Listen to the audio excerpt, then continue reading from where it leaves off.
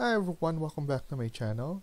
In today's video, I'm going to show you how to install Twinmotion 2021.1. Let's get started. So to start, type in Twinmotion. Once you type in Twinmotion, click this one. And here it just gives you more information on the changes and the new feature that Twinmotion has. So I'm just gonna scroll down all the way down here. And once you see this one just click get started now. And then after that click free trial.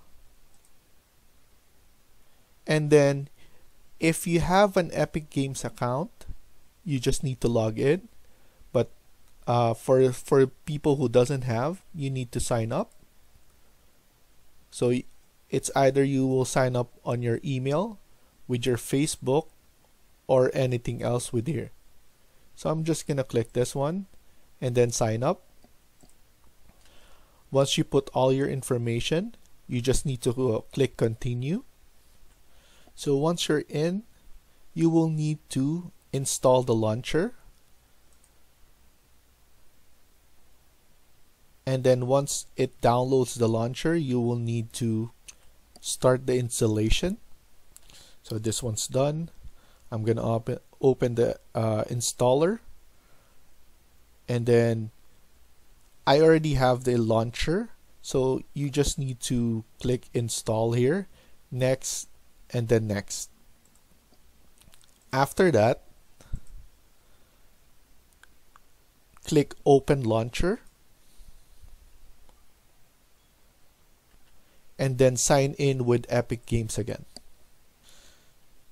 So once your launcher is open, it's either you can choose different version here. I'm gonna choose the recent version, which is 2021.1. And then after that, you just need to click install again and it will be processing for me, it's just updating.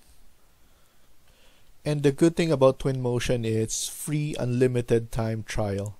So you don't need to pay and there's no time limit for the use of Twinmotion.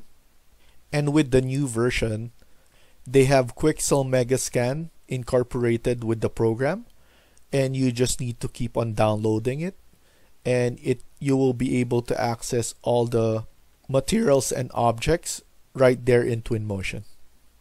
So once everything is done, click launch. And we have Twinmotion opening. And we have it open right here.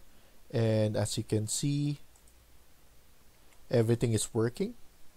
Thank you for watching and I hope you liked the video. Please hit like and subscribe. Feel free to comment down below.